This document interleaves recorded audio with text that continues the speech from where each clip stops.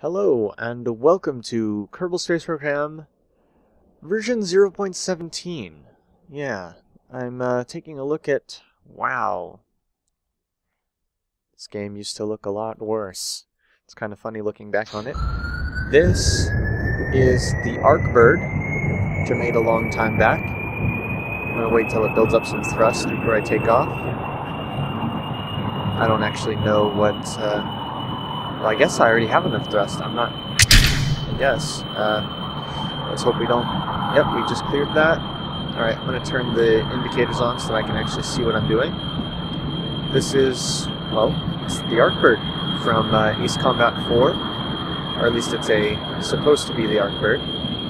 Um, it can't actually land. As you might have noticed, there's no landing gear but uh, you can fly it around for a while and then deploy the parachute on the nose to uh, try to land somewhere.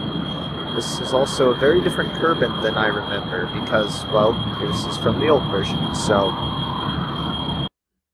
Oh, physics warp. Yeah, don't don't warn me again.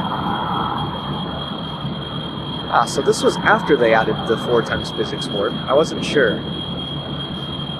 I wasn't sure. And wow, this thing this thing flies better than I remember it flying.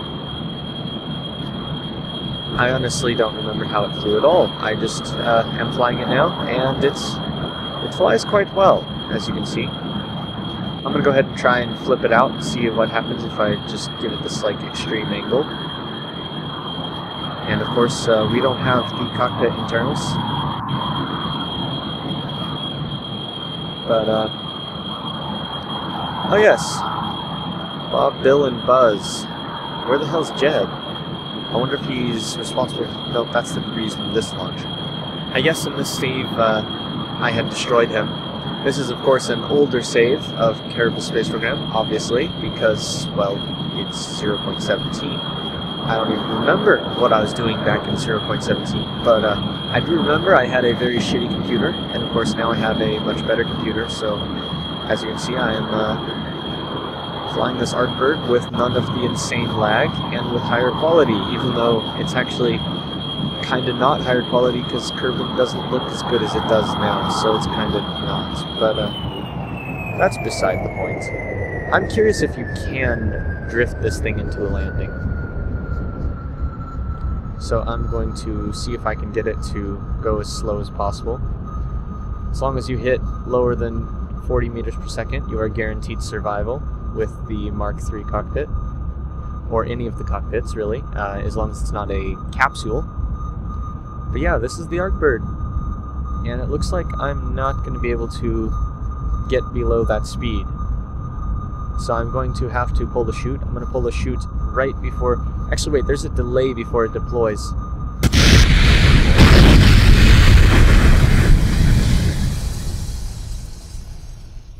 And there we go. Successful landing. I also can't hit escape on... Uh, for some reason I can't hit escape on KSP anymore. I don't know why. But um, it's very annoying when I need to, I don't know, uh, you know, go back to the... There we go. Here we have the probably appropriately named Holy Fuck 4. Could you... Okay. This is, uh, interesting. Let's uh, see what happens when we turn it on. Do we have RCS? No, we don't. Okay, brilliant. This is a VTOL, obviously. A VTOL that actually works, too. Just barely, but it does work. As far as takeoff, I've never, I don't think I've ever vertically landed it. Um, I'm not sure if I made a video of it either. I think I did at one point, but I'm not sure. But, uh, it's very hard to take off with it because it's so freaking heavy. I mean, it's, look at this thing. It's just heavy squat plane. Uh-oh, uh-oh, uh-oh, uh-oh.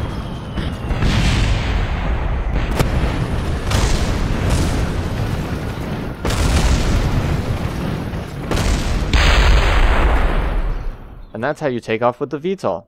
So here we are again.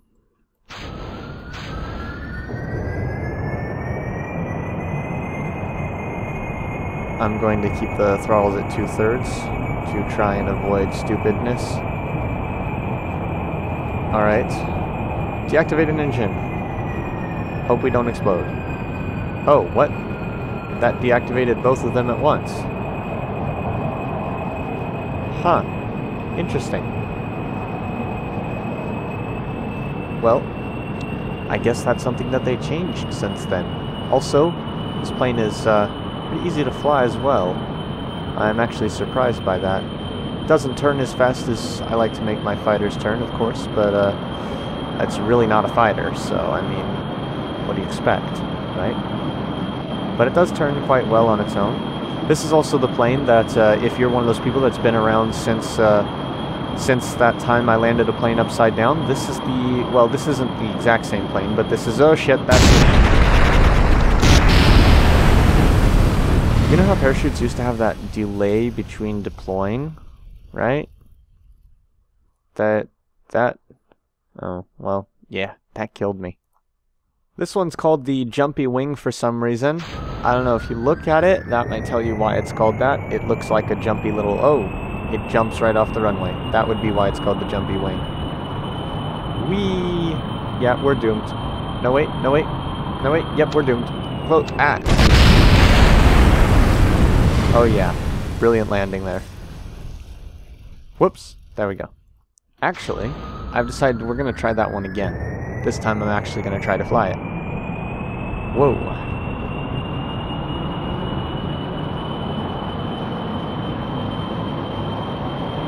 This is also before intakes had a purpose. So there are no intakes on this craft because, well, it would be pointless.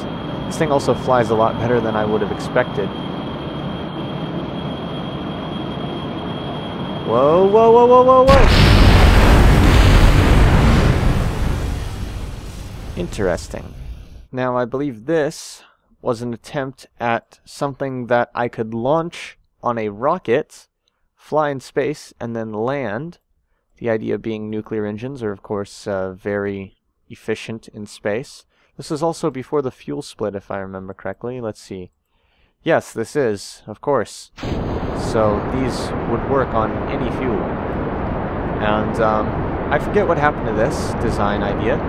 It either never took off, or it flew terribly, or and I couldn't land it, or I couldn't get it to launch on a rocket. I don't really remember what happened to it, but uh, we're going to find out right now, at least if it's one of the explodey options, or the not take off option. Here goes nothing. End of the runway. Oh, that's what happens. Now I remember. Yeah, so every time you try to take off with this, it would just, uh, it would just, the engine would break off at the end of the runway. Suppose I could have reinforced that with struts, but I was too dumb to do that. Also, I figured what's the point of reinforcing with struts, because it won't take off anyhow. And we have the XLS XLSR Lux blah blah blah blah. I forgot already what it's called, because, yeah. But uh, as you can see, this was another attempt at having, like, you know, just a ton of fuel on a craft that could be in orbit and then do a bunch of stuff and then come back and land. Um, Let's see if this suffered from the same problem or not. I believe this one can actually get off the ground and then flies horribly. But I don't know. We'll, we'll find out when we uh, reach into the runway, I suppose, right? Let's check it. And... Ah, yes, this is how it flies. Uh, oh, actually, uh, quite well. Once you account, once you get over the fact that you just nearly flip out, it flies perfectly fine. Now, of course, uh, the fuel on this thing isn't going to last very long. Because as soon as we burn out of this tank, then we'll burn out of the other tanks, and then we'll uh, be done for.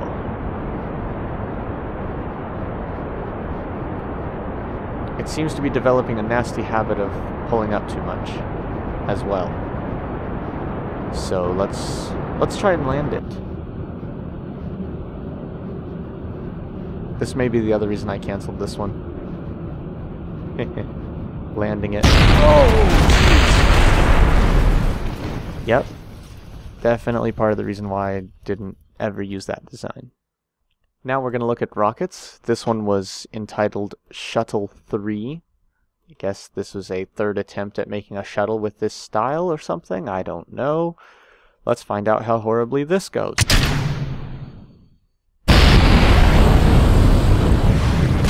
That's not a good sign. Neither is that.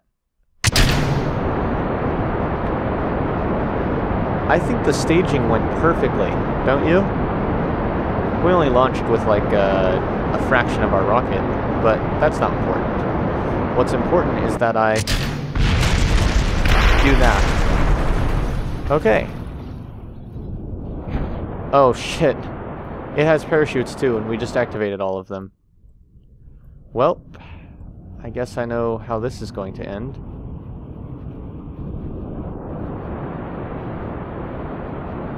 Wait, nope, we can recover from this. By, we're going to slow down our speed ever so slightly using the rocket engine. And then we're going to coast down on a gentle 10.7 explosions per second. And touchdown. Only one thing exploded, one thing broke, and then the rest is going to explode. There we go. Proper landing. Oh shit, I can't I can't close this. And finally, we have the sun dive. Uh, well, actually, the sun dive too. There was actually the sun dive as well, but uh, what did Kroip? Uh, the orbital camera works differently than I recall. uh, the sun dive one is basically the same thing, but a bit smaller. Also, is that a decoupler that's attached to a nothing right there? Because that's what that looks like to me. Let's uh, fire it. Whoops. And go to and stuff. Oh, that was different than expected. Also, this is very inefficient, as you'll notice by these speeds that I'm going at. I'm going way too fast for this low in the atmosphere, but I don't even care.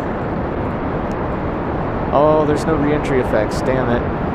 I was just thinking about getting re-entry effects on the way up, and uh, but that won't happen considering there are no re-entry effects. Of course, the SAS is going mad, especially this is the oldest, oldest, this is very old version of the SAS. Think I just blew up most of my rocket beneath me.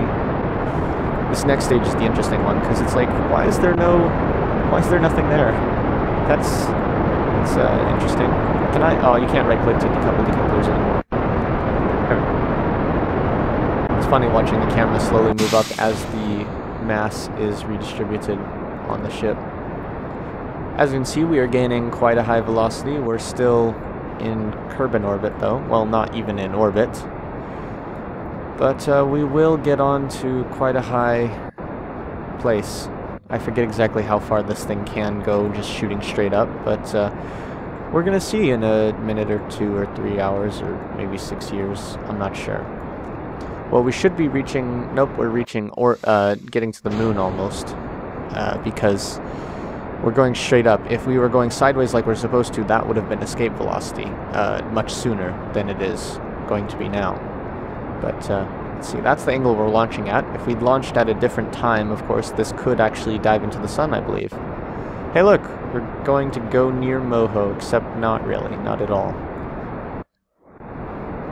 But, uh, I believe this thing was capable of an actual sun dive, it looks like, based on shooting it straight up right now. I mean, look at that. That's a pretty big change in velocity. Lots of delta vers. Delta vers? Delta vikers. Delta vikers vikers. It's been a long time since the SAS was this. Oh yes, and I cannot exit again, but uh, anyhow, this was a blast from the past. KSP 0.17. Most interestingly, the Arkbird, one of my favorite things I've ever done. Thanks for watching. See you in space.